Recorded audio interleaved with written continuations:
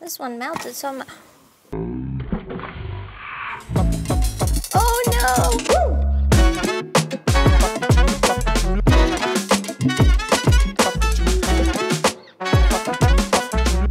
Hello, everyone. Welcome to the No Borders, Just Flavors kitchen. My name is Morelys Urbano, and I will be your host. Each episode, we are going to have two immigrant Jews competing with a recipe that matches the episode's featured category. I, along with a special guest, will be choosing a winner for the cook-off. And y'all, I wonder what our amazing chefs are going to be making today. Y'all are ready to meet our chefs? Let's do it! My name is Estefania. I live in Austin, Texas, and I was born and raised in Guayaquil, Ecuador. My name is Yassin. I live in Austin, Texas, and I grew up in Cairo, Egypt. My family immigrated here in 2014. Welcome, you guys. I hope that you guys are excited because I am so ready to try your food. The category for the day is rice in a pot, and you will have 90 minutes to surprise me with your recipes. You also will have two gameplay buttons. The dance off button can actually make one of the two of you dance for each other while the other one finish cooking their dish, and the teamwork button can make them go to your side and help you for three minutes with your dish. I think it's time to meet our influencer. She's a food content creator. Let's meet Henna. When I saw Henna walk through the door, in my mind, I was like, oh my gosh, is that Henna from TikTok? I can't believe I'm in the same room as her. I'm just hoping that she'll be nice. Hey Henna, so nice to have you here. Thank you guys for having me. I'm super excited to eat all the good food that I know is coming our way. Yes, definitely. Well, are y'all ready? Let's start this countdown. Three, two, one, go! Oh my god. the most stressed I've ever put on an apron. I had a whole plan of what I needed to do exactly in what order, and then all of a sudden, in my mind just goes blank.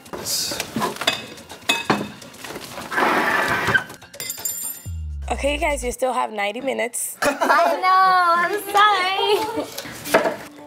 So, what are the dishes that you guys are making? It's called seco de pollo. Okay. Seco means dry in Spanish, but this dish is not dry at all. I decided to be a part of this cook-off because I was feeling lonely here in Texas. I wanted my fellow Ecuadorians to feel included in something like a cooking show. This is actually my own recipe, so um, my parents don't really cook, so I'm actually adding a twist of this to make it my own. But I don't want to give too much away. So I'm making kushari with a twist. Ever since we moved to Texas, I'd been eating a lot more Mexican food. We didn't really have that too much in Egypt. I noticed that there were a lot of similarities in flavors. Like for example, Jamaica is exactly the same as something we drink back in Egypt, especially during Ramadan. It's called karkade. Since I started noticing the similarities in, in foods between Egypt and here, uh, I've wanted to start a restaurant or maybe a food truck that's Egyptian Tex-Mex fusion. So, how do you guys start cooking? I started because of my grandmas when I was a little kid. I think they got me in the kitchen early, just baking with them, making cakes and cookies. We have a lot of holidays in uh, Islam that, you know, come with their own desserts. And since then, I think I fell in love with the magic of being able to, to feed people, to give them the energy and fuel that keeps them going for another day. I moved back home from Ecuador to the USA. And when I moved here, I had to learn how to cook. And I would just like call my mom and be like, can you please tell me how to make the chicken soup? So basically, I just learned to cook while calling my mom. When I moved to the USA, I started to miss my country. I started to miss my food. I started to miss my people. Nowadays, I just try to cook as many recipes as I can possibly do. And that way I feel a little bit closer to home. Oh, that's really cute. Thank you for sharing. No, you're very welcome. Okay, one hour left.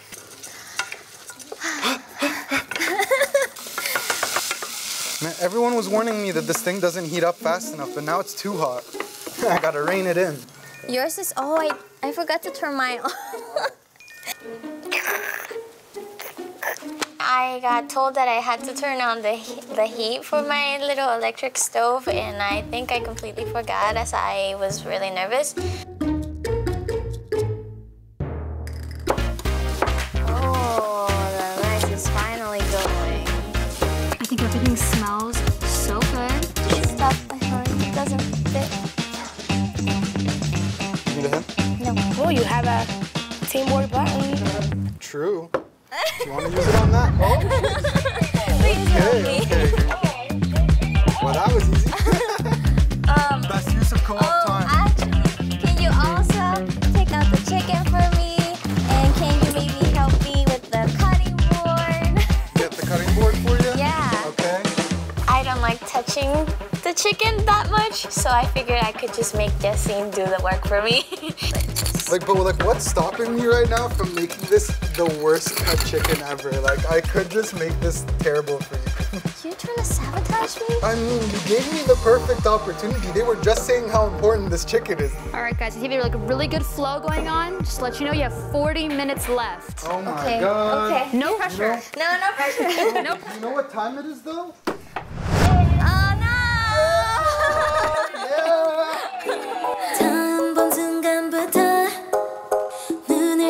없었어 gonna like wave around. 이 세상 하나뿐인 나 처음 봤으니까 빠졌으니까 Dancing in the Just Flavors kitchen is actually a little bit embarrassing. I could have made a fool out of myself, but you know what? I was just like, 하면 just moving like this, like I usually do back home.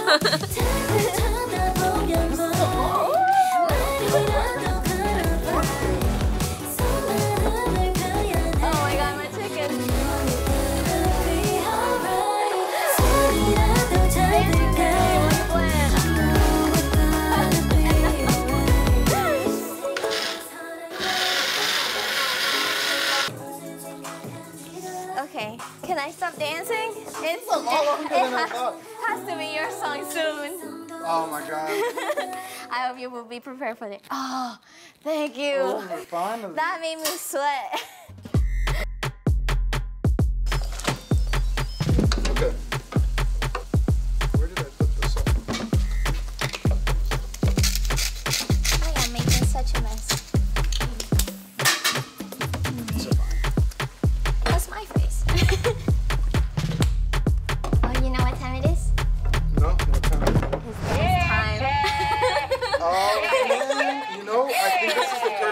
for that, actually. so- oh no, why? Yeah.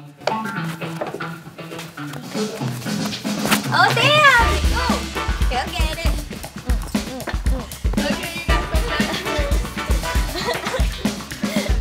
It's gonna be a long song. Better be Oh, prepared shit. for it. I need to make pasta. Oh, Oh my god. Okay, okay, okay. You gotta keep dancing. Go, go, eh, eh, eh. I don't usually dance. I don't like to dance, especially in front of people. But then the song just gets better and better, and before I know it, I'm just really in the groove. Nobody's perfect in the world. Just make cooking.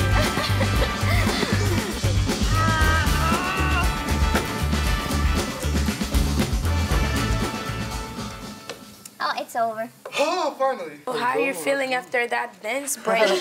You know, I'm still getting my breath back, but that was fun actually. I think it got some, some tension out. I'm seeing avocado being used. Is this part of your Tex-Mex? Yeah, yeah. So this is not traditional at all. Just adding it because uh, it needs something fresh. You guys have 15 minutes left. I feel like my burner just like stopped. It's unplugged. Oh my god. It's just that's why the, the water hasn't been boiling. I would just swap them at this point. Your, if your onions are almost done. Koshari is a complicated dish with a lot of layers and a lot of components. And honestly, I kind of take that for granted. I forget all the time how many things go into it.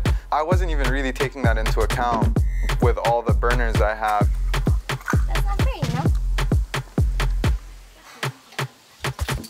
There, there's no pressure, but there is less than 10 minutes. There's still the a button sheepies. not used. Actually, Oh my god.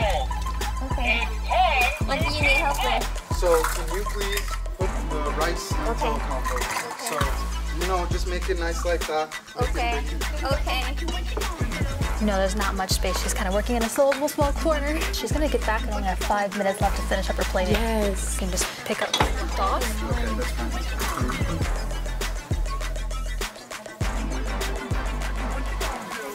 Five minutes left. Looks like it's boiling now.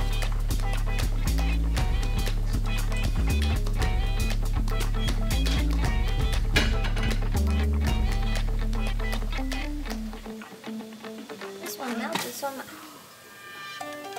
I'm trying to get the avocado, my main ingredient, in the dish and trying to make it look nice. And I'm just squeezing a little harder and all of a sudden it just explodes.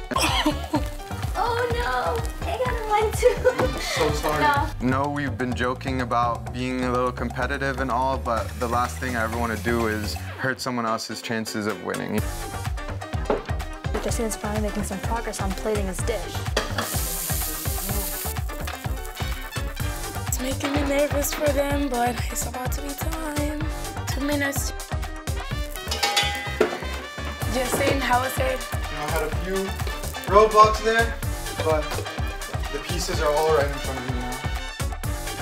They had a really hard hard time. It seemed like in the beginning, Yassin was way up in the head and Stephanie was behind, and then it kind of turned the other way. But now they're back on track and working on their plating. 60 seconds left. Oh my gosh. No. Keep our shoes on. I'm just scrambling, trying to get everything perfect and ready for the judges. I've had a lot go down already, and so I just don't want to mess things up anymore.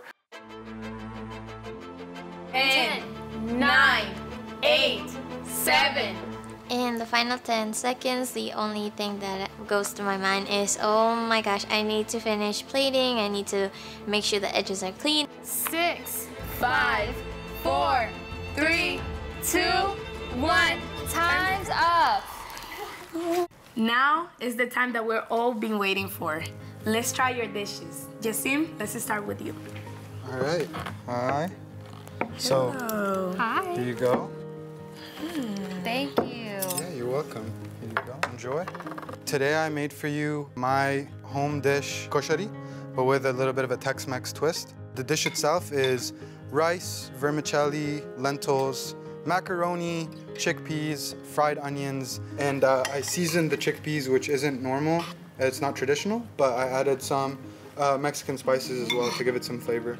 I brought with me my grandma's uh, cookbook. Actually, my grandma's left this for me a couple years ago, and even though this this recipe isn't from there, it definitely took a lot of notes from there, and they've taught me so much that this is what reminds me of them and reminds me of home, and it means a lot to me because they, you know, this is a huge history of you know Egyptian cooking that I get to keep with me and carry on the legacy but I also wanted to add something of my own and make it my own. So that's why, after moving to Texas, after wanting to kind of incorporate my Egyptian and American identities together, I made this as kind of the, the main dish of the Egyptian Tex-Mex restaurant that I, I would love to open someday. Thank you so much, Yassin. Thank you. I hope you enjoy. Hello. Hi. Okay, um, just put it down for you guys. Okay, thank you. Right. I have prepared for you this traditional Ecuadorian dish called seco de pollo.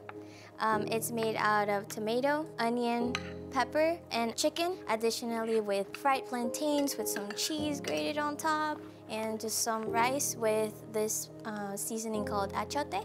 Back when Ecuador was about to be colonized, and we had the English people come to Ecuador, and you know how they have appetizers and entrees, and you know dessert. In Ecuador, we don't really have that. So the uh, English people were telling Ecuadorian people like, okay, where's the second? Second. But since Ecuadorian people don't know much English overall, they were like, okay, second, second de pollo. So it that's how I got the name Seco de Pollo. It's kind of funny. and I actually brought in a little picture that I wanted to share with you guys. And this is my mom. This is my grandma. Her name was Kamanda. And I made this dish because it's a dish that I know my mom likes to make for us. And then it was a dish that I would eat sometimes at my grandma's house. I don't have much pictures of my family because they're all back home in Ecuador, but this is the one that my grandpa gave me when I left. And I just cherish it with me. And I know my mom is proud of me, and then that my grandma is also very proud of me. If, I know she's probably looking over me right now. Thank you so much for sharing your story. No, I'm sure that they both are so proud of you. You did an amazing job. Now it's time for us to make a decision. Me and our amazing guest, Henna, have made a final decision to announce the winner. But first, I want to say immigrant food is so diverse and amazing, and you guys both did an amazing job. We are so proud of you guys. It was a really hard decision. to help amplify immigrant voices is to try foods from different cultures, get out of your comfort zone, and I think most people would be surprised uh, by the just the amount of diversity that they can taste. So that's my biggest thing is just to try some food. Well, thank you so much. That is an amazing message. But that being said, our winner for the cook-off is The moment where Moralisa and Henna are about to announce the winner, the lights are flashing, we're at our stations, and it's all happening so fast. In that moment, my anxiety came back and I didn't know what to think.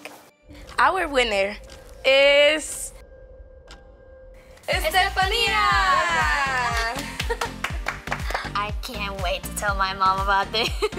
You guys both did an amazing job. Thank you so much. I would like to hear a couple words that you have for our immigrant youth. Honestly, I would just like to say that we are capable of anything that we actually set our minds to.